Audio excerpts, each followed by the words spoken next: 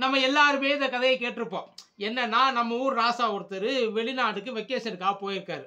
ராஜாவாச்சே வெக்கேஷனுக்கு போனவர் ஒரு கார் வாங்கலாம் அப்படின்றதுக்காக ஒரு கார் ஷோரூமுக்கு போயிருக்காரு. அது ரோல்ஸ் ராயல்ஸ் காரா அங்கே உள்ள சேல்ஸ்மேனு இவரை பார்த்த உடனேயே கார் வாங்குற மூஞ்சியை பாரு அப்படின்னு நினச்சிக்கிட்டு அவர் கழுத்தை பிடிச்ச வெளில தள்ளாத குறையா வெளியில் தள்ளி அந்த ராசாவை காண்டேத்தி விட்டாங்க.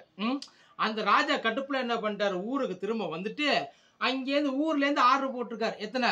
ஒன்று தாட தரமாட்டேன்னா. ஒரு மொத்தமாக வாங்கி கும்பலாக எடை போட்டு வந்து கும்பலாக ஒரு பத்து கார் வாங்கி ஊருக்குள்ளே விட்டாப்புல. என்ன பண்ணிட்டாப்புலன்னா அந்த கும்பலாக விட்ட காரை வச்சு குப்பையில் விட்டார். ரோல்ஸ் ராயஸ் காரு இந்தியா ரோட்டில் குப்பை அள்ளிக்கிட்டு இருக்கு. குப்பை வண்டியாக எல்லாரும் ஓட்டிக்கிட்டு இருக்காங்க. இது பெரிய பாப்புலர் ஆகி ரோல்ஸ் ராயஸ் வரையும் போய் மறுபடியும் ராஜா கிட்ட வந்து மன்னிப்பு கேட்டு ஐயா செஞ்சது தப்பு. நான் பண்ணுறது குப்பை வண்டி இல்லை. குழு குழு வண்டி. அப்படின்னு சொல்லி காலில் விழுகாத குறையா கெஞ்சி கேட்டதுனால அந்த குப்பை எழுறத ரோல்ஸ் ராயஸில் நிப்பாட்டிட்டாங்க. சாரி. ரோல்ஸ் ராயல்ஸில் குப்பை அள்ளதை அதை ராஜா நிப்பாட்டிட்டார். இது வந்து நமக்கு தெரியாதது நடந்திருக்கலாம் நடக்காமலும் இருந்திருக்கலாம் கட்டுக்கதையால் கூட இருக்கலாம். ஆனால் இதை பேஸ் பண்ணி நம்ம ஊரில் ஒரு படம் வந்துச்சு அதான் நட்புக்காக. அதில் என்ன ஆகும் அப்படின்னு பார்த்தீங்கன்னா இங்கேருந்து விஜயகுமார் கலையம் போவார் நெஞ்சு ஃபுல்லாக சந்தனம் கழு கழுத வேட்டி அதை ஆளை பார்த்தாலே கண்டிப்பாக மாக்கேன் அப்படின்ற மாதிரியே ஒரு இதில் போயிருப்பாப்புல. அவர் கார் ஷோரூம் போனோன்னே தே இந்த காரோட விலை இவ்வளோ விளைச்சம்டா அப்படின்னோன்னே இவ்வளோ விளைச்சபா அப்படின்னு வாயை பொழந்துக்கிட்டு அப்புறம் என்ன போ என்னங்க நீ இப்படி சொல்லிவிட்ட?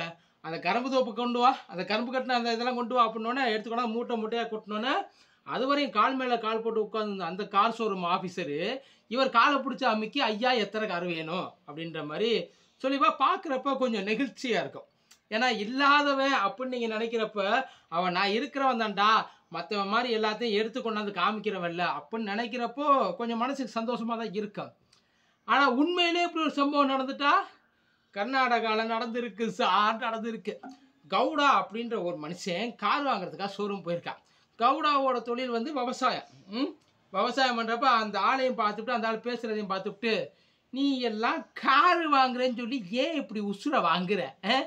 வெளியில் நின்று வேடிக்கை பார்த்துட்டு போகிறதே உனக்கெல்லாம் பெருசு அப்படின்ற மாதிரி ஏளனமாக பேசி அனுப்பிச்சிருக்காங்க கார் ஷோரூம் பாரு. கடுப்பாயிட்டான். விவசாயி வேற இல்லையா? என்ன பண்ணிட்டான் இப்போ நான் இந்த காரோட விலை என்னன்னு சொல்லு. நான் வாங்குறேன். பத்து லட்ச ரூபா அரை மணி நேரத்தில் கொண்டு வந்தேன் இந்த காரு ஒன்று அப்படின்னு சொல்லிட்டு ஷோரூம்காரன் வாக்கை கொடுத்துருக்காப்புல. அதை கொடுத்த வாக்கு அந்த நாக்கு இருக்கு இல்லையா? அந்த வாக்கு கொடுத்த நாக்கை தான் இழுத்து வச்சு அறுக்கிறதுக்காக என்ன பண்ணிட்டான் அரை மணி நேரத்தில் அங்கே இங்கே போன போட்டு பத்து லட்ச ரூபா ரெடி பண்ணிட்டான் ரெடி பண்ணி கொண்டாந்து மூட்டையில் அள்ளி கொட்டியிருக்கா. டேய் வாடா மச்சான் அந்த கரும்பு காசு எடுத்துடுவா மச்சான் அந்த நெல் காசு எடுத்துடுவா எல்லாத்தையும் எடுத்தது பத்து லட்ச ரூபா கொடுத்துட்டான் இப்போ என்ன பண்ணிட்டாப்புல? எனக்கு காரு வரணும்.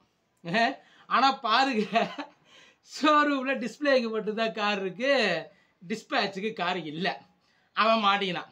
அவனும் மா விழுகாத குறைய ஐயா சாமி தெரியாமப்பட்ட ஓ பவர் தெரியாமப்பட்டு என் பொழப்புக்கு உழ வச்சிடாத அப்படின்னா நீ பேசின பேச்சுக்கு உன்னை நிற்க வச்சு ஏதாவது செய்யணும். எனக்கு அதெல்லாம் தேவை கிடையாது. எனக்கு காரை கொடு. காசை நான் கொடுத்துட்டேன். நீ கேட்டியல்ல? நீ கேட்டதை எண்ணி பார்த்துக்க. பைசா குறைஞ்சா சொல்லு. நான் உனக்கு திரும்ப எடுத்தான் தர்றேன். எவ்வளோ வேணுமோ தர்றேன். எனக்கு இன்னைக்கு நான் கார் இல்லாமல் வீட்டுக்கு போக மாட்டேன்டா அப்படின்ற மாதிரி அடித்து பேசிட்டாப்புல. கேஸு போலீஸ் வரையும் போயிடுச்சு. ஸ்டேஷன்லேருந்து ஆள் வந்து என்ன நடந்துச்சுன்னு கேட்க நடந்ததை சொல்ல அந்த கார் அந்த ஷூ பாவம் அந்த இங்கே சேல்ஸ்மேன் இருப்பான்ல சேல்ஸ்மேனு நூடுல்ஸாக நின்றுட்டு இருக்கான் ஐயோ தெரியாத தடவை விட்டு இப்படி பேசிட்டேடு அப்படின்ட்டு. அதுக்கப்புறம் அவன்கிட்ட பேசி ரிட்டனில் ரிட்டனில் மன்னிப்பு கேட்டு எழுதி கொடுத்ததுக்கப்புறம் தான் கவுடா அங்கேருந்து கிளம்பியிருக்காப்புல.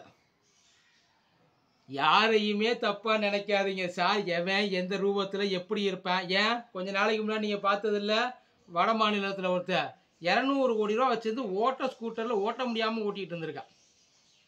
எவன் எப்படி இருப்பான்னு தெரியாது. ஆளை பார்த்து இடப்படாதே. முதல்ல மனுஷனை மனுஷனாக மதிக்க கற்றுங்க பணம் இருக்குது பணம் இல்லை அதெல்லாம் வேற. இப்போ நீங்களும் நாளைக்கு சில நேரத்தில் ஏதாச்சும் ஒன்று ஆச்சுன்னா நல்லா இருக்கவங்க கூட நடு ரோட்டுக்கு வந்துடுவான் அதெல்லாம் நம்ம எதையுமே சொல்ல முடியாது. ம மதிக்க கற்றுக்கிட்டீங்கன்னு வைங்களேன். அவங்க வாழ்க்கை மட்டும் இல்லை நம்ம வாழ்க்கையுமே நல்லா இருக்கும். எல்லாரையும் மதிக்கலாம். நன்றி.